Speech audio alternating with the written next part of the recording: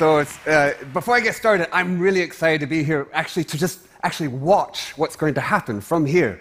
So, with that said, right, we're going to start with what is one of our greatest needs, one of our greatest needs for our brain. And instead of telling you, I want to show you, in fact, I want you to feel it. There's a lot I want you to feel in the next 14 minutes. So if we could all stand up, right?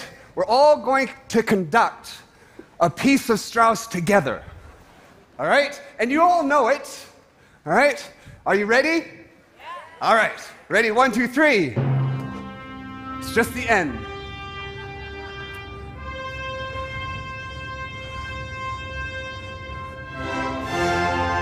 right? You know where it's going.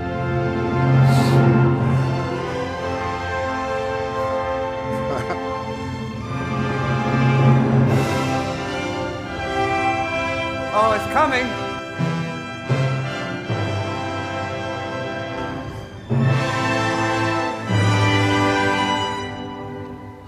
Oh! Right? Collective coitus interruptus. Okay, you can all sit down we have a fundamental need for closure. Right? We love closure. when I was told the story that when Mozart, when he would go, just before he'd go to bed, he'd go to the piano and go, da da da da da. His father, who was already in bed, think, ah, he'd have to get up and hit the final note of the chord before he could go back to sleep. Okay? So, the need for closure leads us to thinking about what is our greatest fear. Right? Think, what is our greatest fear growing up even now? And it's the fear of the dark. We hate uncertainty. We hate to not know. We hate it. Think about horror films.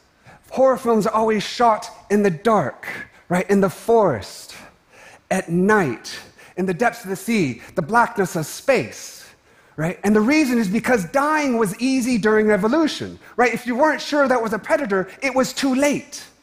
Your brain evolved to predict, and if you couldn't predict, you died. And the way your brain predicts is by encoding the bias and assumptions that were useful in the past. But those assumptions just don't stay inside your brain. You project them out into the world. There is no bird there. You're projecting the meaning onto the screen. Everything I'm saying to you right now is literally meaningless. You're creating the meaning and projecting it onto me. And what's true for objects is true for other people. While you can measure their what and their when, you can never measure their why. So we color other people, we project a meaning onto them based on our biases and our experience.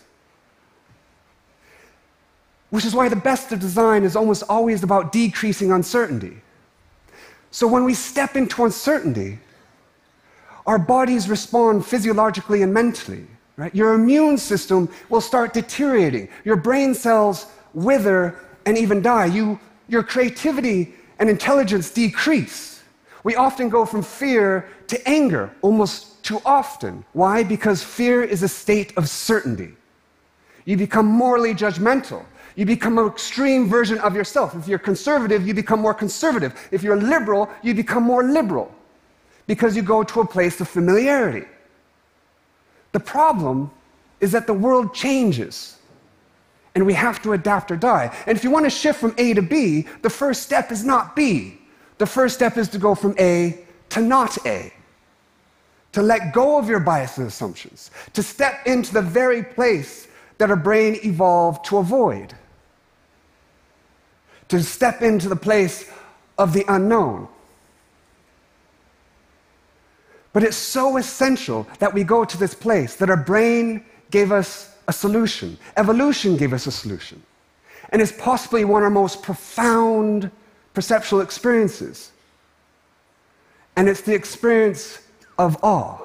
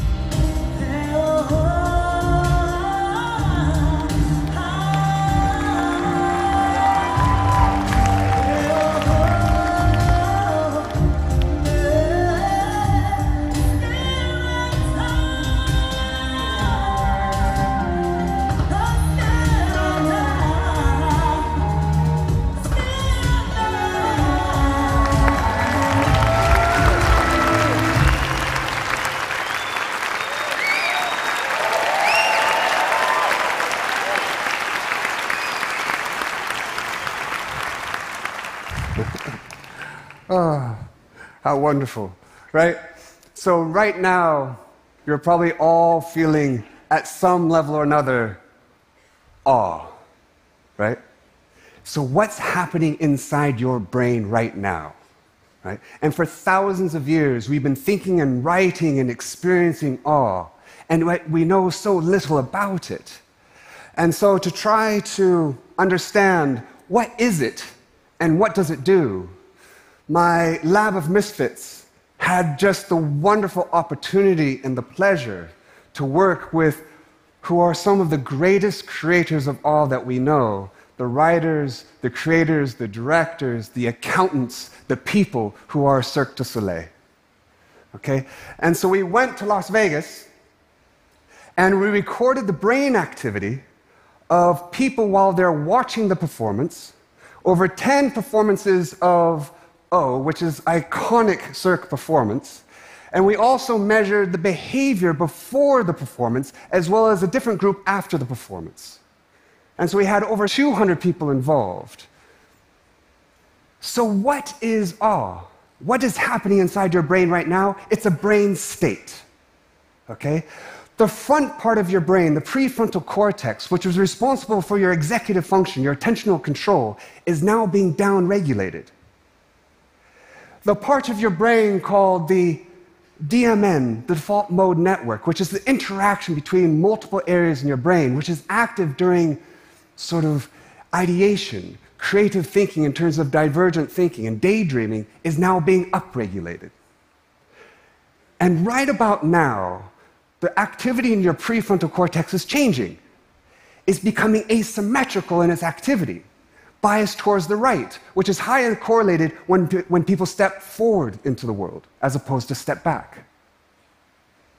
In fact, the activity across the brains of all these people was so co- correlated that we're able to train an artificial neural network to predict whether or not people are experiencing awe to an accuracy of 75% on average, with a maximum of 83%.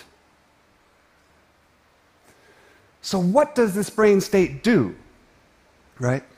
Well, others have demonstrated, for instance, Professor Hayton Keltner, have told us that people feel small but connected to the world. And their pro social behavior increases because they feel an increased affinity towards others. And we've also shown in this study that people have a less need for cognitive control. They're more comfortable with uncertainty without having closure. And their appetite for risk also increases. They actually seek risk and they're better able at taking it. And something that was really quite profound is that when we ask people, Are you someone who has propensity to experience awe? They were more likely to give a positive response after the performance than they were. They literally redefined themselves and their history. So, awe is possibly the perception that is bigger than us. And in the words of Joseph Campbell, awe is what enables us to move forward. Or, in the words of a dear friend, probably one of our greatest photographers, still living photographers, Duane Michals, he said to me just the other day that maybe it gives us the curiosity to overcome our cowardice. So, who cares? Why should we care? Well, consider conflict, which seems to be so omnipresent in our society at the moment. If you and I are in conflict, it's as if we're at the opposite ends of the same line. And my aim is to prove that you're wrong and to shift you towards me. The problem is, you're doing exactly the same. You're trying to prove that I'm wrong and to shift me towards you. Right? Notice that conflict is to set up to win but not learn. Your brain only learns if we move. Life is movement. So, what if we could use awe not to get rid of conflict? Conflict is essential. Conflict is how your brain expands, it's how your brain learns, but rather to enter conflict in a different way. And what if we could enter it? Awe could enable us to enter it in at least two different ways. One, to give us the humility and courage to not know. Right? To enter conflict with a question instead of an answer. What would happen then? To enter the conflict with uncertainty instead of certainty. And the second is in entering conflict that way to seek to understand rather than convince. Right? Because everyone makes sense to themselves. Right? And to understand another person is to understand the biases and assumptions that give rise to their behavior.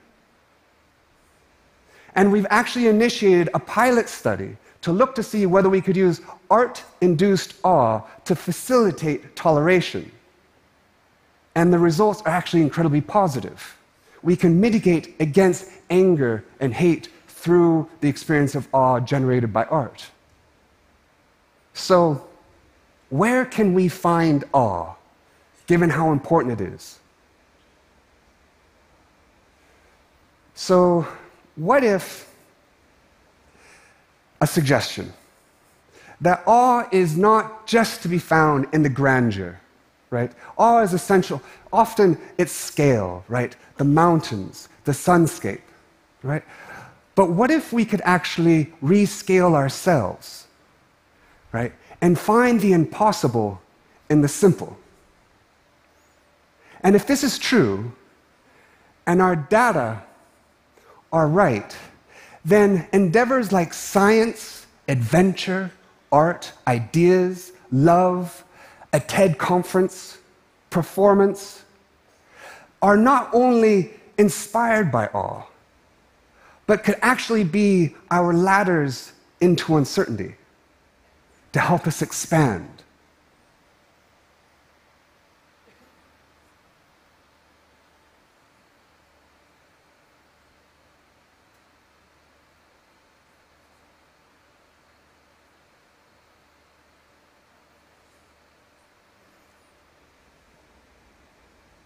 Thank you very much. Please come up.